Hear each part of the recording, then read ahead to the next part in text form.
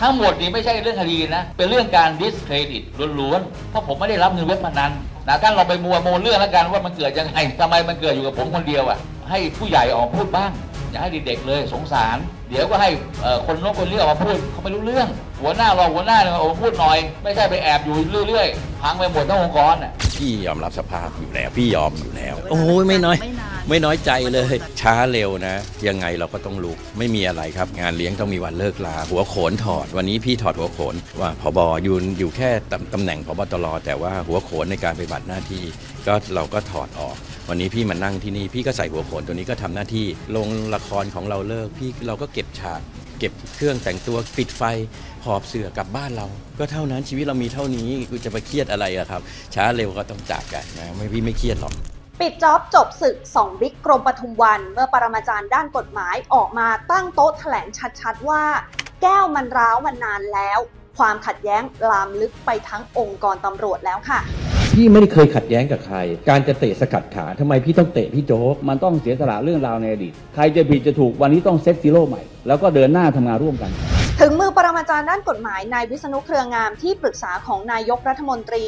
ออกมาแถลงปิดจ็อบ 4 เดือนกับการสอบปมความขัดแย้งของ 2 บิ๊กตำรวจ คือพลตำรวจเอกต่อศักดิ์สุขวิมลผบตร และพลตำรวจเอกสุรเชษฐ์หักพาน รองผบตร โดยตั้ง 3 อรหันต์มาเป็นคณะกรรมการสอบข้อเท็จจริง แล้วยังมีทีมผู้ช่วยสอบพยานกว่า 50 ปาก รวมไปถึงสอบผู้ขัดแย้งอย่างบิ๊กต่อบิ๊กโจ๊กด้วยค่ะ ผลสอบนั้นชัดเจนว่ามีรอยร้าวในสำนักงงานตำรวจแห่งชาติจริง ๆ ไล่ตั้งแต่บิ๊กตำรวจไปจนถึงตำรวจชั้นผู้น้อย 2 คือรอยร้าวเกี่ยวรงๆกับ 2 บิ๊กตำรวจ พลอยทำให้ทีมทำงานขัดแย้งกันไปด้วย มีทั้งคดีเป้รักผู้การ คดีกำนันนก คดีมินนี่ คดีพนันออนไลน์ BNK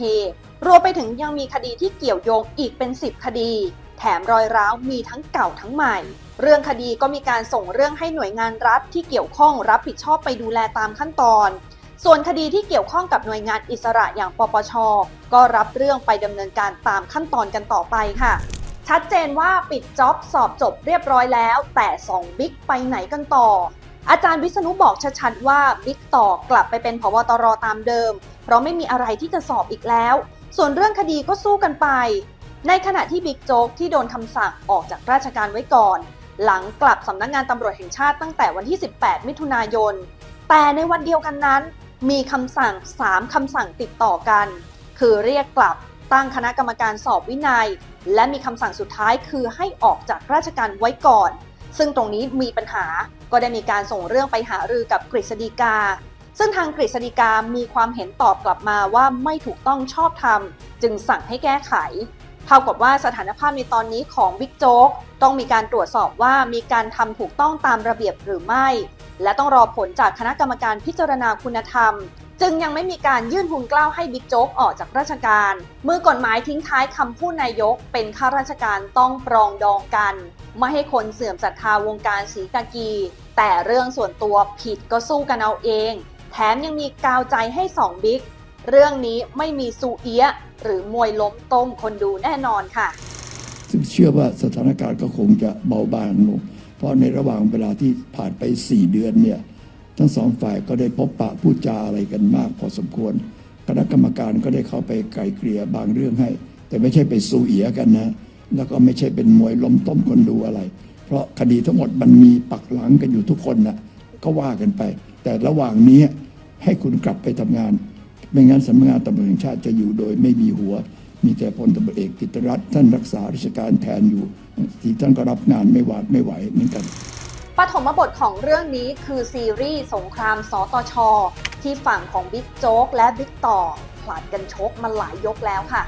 แต่ที่คนดูเห็นชัดๆ คือกรณีหมายค้นบ้านบิ๊กโจ๊ก ย่านวิภาวดี ที่เกิดขึ้นเมื่อวันที่ 25 กันยายน 2566 เกิดขึ้น 2 วันก่อนที่จะมีการเลือกผบตร ซึ่งเมื่อผลออกมาบิ๊กต่อ candidate ลำดับที่ 4 ได้ขึ้นเป็นผบตรคนที่ 14 แล้วมีคนในวงการไปเชื่อมโยงว่า ตรงนี้ใช่การเตะตัดขาบิ๊กโจ๊กแคนดิเดตผบตรที่นอนมาหรือไม่ ซึ่งที่สุดแล้วมีภาพโอบเอวหวานเจี๊ยบออกมาสยบว่า ถึงที่ต่อจะนั่งเป็นผบตรน้องก็รักไม่มีปัญหาอะไรกันทั้งสิ้น แต่กลับกลายเป็นว่าพี่น้องแตกคอกันมีคดีที่บิ๊กโจ๊กและลูกน้อง ไปโดนกล่าวหาว่าเกี่ยวข้องกับเว็บพนัน BNK Master จนมีหมายเรียกไปแปะหน้าบ้านบิ๊กโจ๊ก ด้านบิ๊กโจ๊กสู้ยิบตาตั้งทีมทนายขึ้นมาแฉว่า ทีมทำงานเลือกปฏิบัติ แถมยังล็อกเป้าเล่นงานให้รองผบตรมัวหมอง ทั้งทันที่เส้นเงินจากเว็บพนันดันไปเชื่อมโยงกับตำรวจกว่า 30 เส้น ไล่ตั้งแต่ระดับดาบตำรวจไปจนถึงพลตำรวจตรี แต่เรื่องนี้ทำไมไม่มีใครจัดการ ก่อนที่พลตำรวจตรีนำเกียรติธีระโรจนพงศ์ หนึ่งใน 8 ลูกน้องของบิ๊กโจ๊กที่ถูกดำเนินคดีเว็บพนันมินนี่คว้าไมค์มาแฉเส้นเงินที่เชื่อมโยงไปถึงนายพลต่อเต่า และภรรยากอไก่ งานนี้ทำให้ผบตรออกมาเปิดหน้าโต้เองทำเอาชาวบ้านจับสังเกตว่า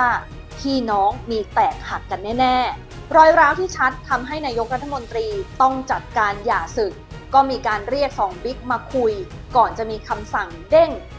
เป็นการเด้งแพ็คคู่แม้ว่าสองบิ๊กตำรวจจะตั้งโต๊ะแถลงกันหน้าชื่น จบที่กอดเอวกันเหมือนเคย เหมือนพี่น้องที่รักกันดี แต่ความจริงที่อยู่เบื้องหลังใครจะรู้ได้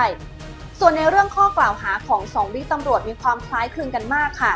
โดยบิ๊กโจ๊กถูกกล่าวหาว่าใช้ลูกน้องถือบัญชีม้า และโอนเงินให้คนในครอบครัว รวมไปถึงโอนเงินไปทำบุญ แต่ไม่มีเส้นเงินบัญชีม้าเส้นใดที่โอนตรงมายังตัวบิ๊กโจ๊กเลย ในขณะเดียวกันก็มีการแจ้งความในความผิดตามมาตรา 157 และมาตรา 149 ได้มีการส่งสำนวนให้ทางคณะกรรมการป้องกันและปราบปรามการทุจริตแห่งชาติ หรือปปชพิจารณา และยังมีอีกหนึ่งคดีจากเว็บพนัน BNK Master ทำให้ถูกออกหมายเรียกครบ 3 ครั้ง ในขณะที่บิ๊กต่อเจอข้อกล่าวหาคล้ายกับน้องรักเลยนะคะ แทบจะมีเส้นทางที่ทับกัน คือถูกกล่าวหาว่ามีเงินจากบัญชีม้าโอนให้พี่สาวพี่ชายและภรรยา รวมไปถึงโอนเงินไปทำบุญ แต่ไม่มีเส้นเงินใดที่โอนตรงถึงบิ๊กต่อเลย รวมไปถึงก็ถูกแจ้งความดำเนินคดีฐานฟอกเงินด้วยค่ะ ปิดจ็อบแค่เรื่องของการตรวจสอบที่ไม่ได้จิ้มว่าบิ๊กไหนผิดถูก แต่เรื่องส่วนตัวก็ต้องสู้กันไป แต่ฉากหน้างานราชการต้องปรองดอง เพราะต้องรักษาภาพลักษณ์ขององค์กรตำรวจทั้งองค์กรเท่ากับว่าบิ๊กต่อได้กลับไปเป็นผบตรตามเดิม รอเกษียณ ส่วนบิ๊กโจ๊กเจ้าของฉายาแมว 9 ชีวิต ก็ยังต้องลุ้นกันต่อว่าจะมีชีวิตที่ 10 เหลืออยู่หรือไม่ แต่ว่าว่ามาว่างานนี้น่าจะวินวินทั้งคู่ เมื่อพี่ได้กลับ น้องก็ต้องได้กลับเช่นเดียวกันค่ะ ผมทราบนะครับว่าประชาชนทั่วประเทศเนี่ย ฝากความหวังไว้กับผมในเรื่องนี้นะครับที่จะให้ดำเนินคดีกับพลตำรวเอกต่อศักดิ์นะครับ ให้ทุกคนเนี่ยอยู่ภายใต้กฎหมายเดียวกันนะครับ แต่ว่าวันนี้เนี่ยผลสอบของคณะกรรมการนายกเนี่ยออกมาแล้ว ผมซึ่งเป็นความหวังของประชาชนเนี่ยทำไม่สำเร็จ ผมอยากจะกราบขอโทษประชาชนทุกคนจากใจจริงเลยนะครับ